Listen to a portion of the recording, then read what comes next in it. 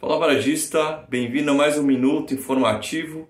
Hoje vou trazer uma notícia bem bacana, tá? Vamos lá. Bom, hoje é dia mundial do chocolate, tá? Mas não é essa notícia não. É, ele foi responsável por uma, um movimento bem interessante que eu vou mostrar aqui.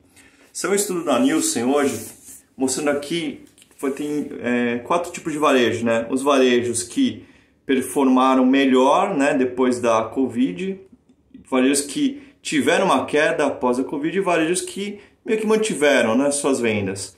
É, o interessante desse grupo que está indo melhor, tá? Que quais são as características desse varejo? É, são varejos em, loca, em, localizados em áreas regi regiões residenciais, tá?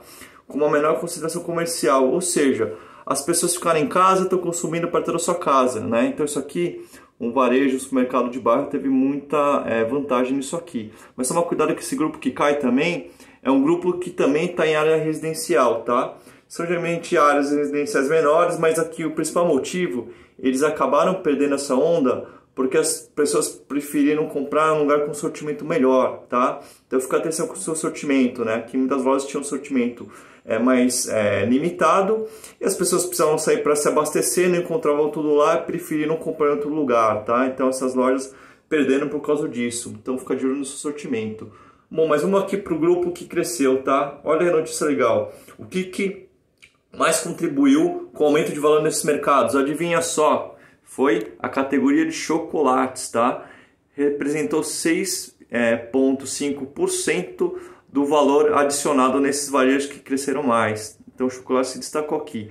Obviamente teve o advento da Páscoa, né? Que é muito explicado por causa da Páscoa, mas é interessante aqui que o pessoal está consumindo chocolate. E olha só o aumento, né?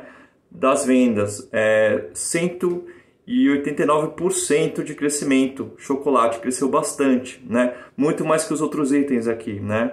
E a gente viu aqui, eu falei com você, chocolate justamente é o item que é, ele é um item de conveniência e ele tem muita margem, né? Tem uma margem boa e compra por impulso. Então olha só aqui, é chocolate alavancando aqui o valor, tá? Às vezes uma categoria não muito bem valorizada, até deixada de lado, né, por ser da mercearia, mas ele que que trouxe muito valor justamente para esse grupo de varejistas que vem performando muito bem após é, a questão do, da pandemia, tá?